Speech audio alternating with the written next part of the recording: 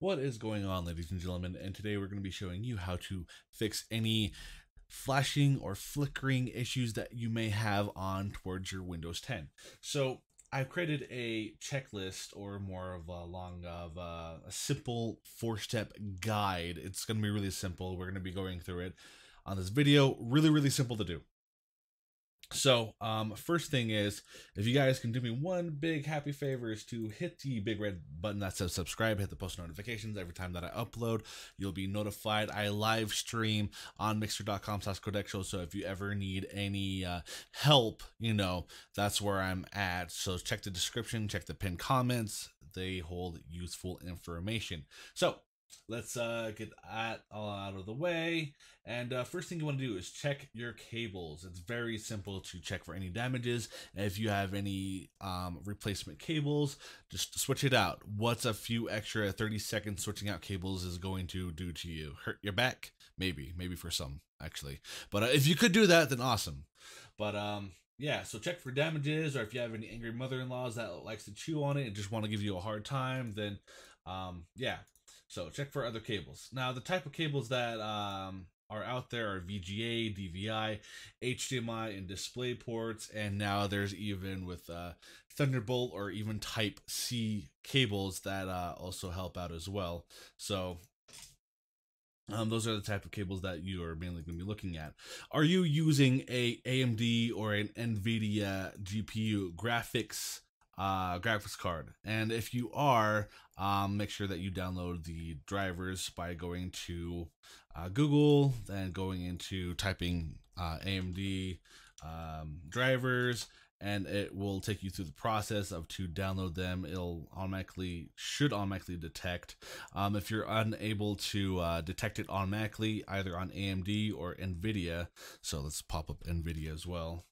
NVIDIA if it's unable to automatically detect and uh, what you could do is type in uh, hit the windows key type in uh, drivers or excuse me device manager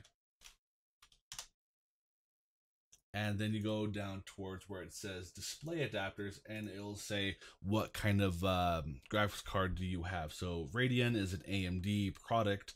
So Radeon RX 570 and uh, if it says NVIDIA then you know you can just match it out with um, with on its manufacturer's website. If that doesn't pop up right there there's another thing that you can do is hit the Windows key and R on your keyboard or you can also go towards the um, Windows icon right here, right click, hit run, and this will pop up.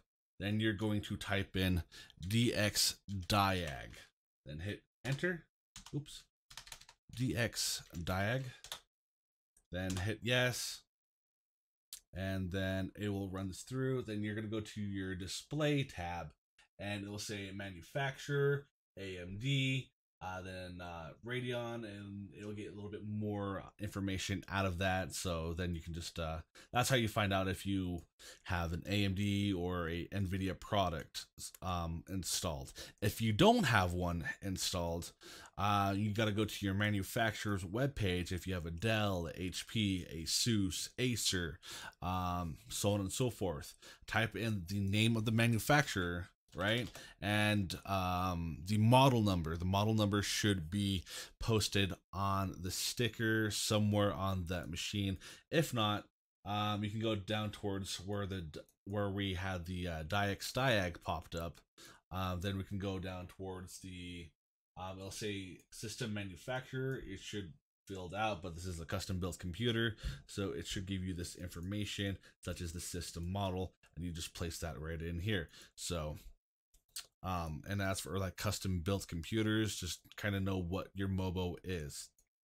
So, uh, motherboard. Usually Windows Update helps. So if you just uh, hit the Windows key, type in Windows Update, and uh, just click on check for updates, and uh, just click on check for updates, and uh, that should help out.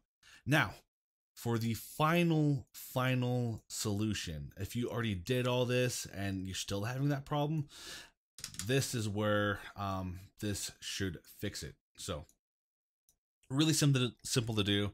What we want to do is type in um, we want to open up that run box right click run. So right click on this Windows box or hit uh, Windows key, then R on your keyboard. Then you're going to type in msconfig, hit enter. Then you're to go towards your boot.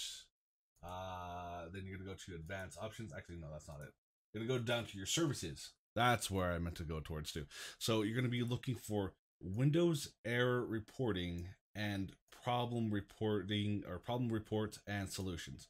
So let's go. Let's everything's in ABC order. So if we go scroll down to problems, should be in ABC order.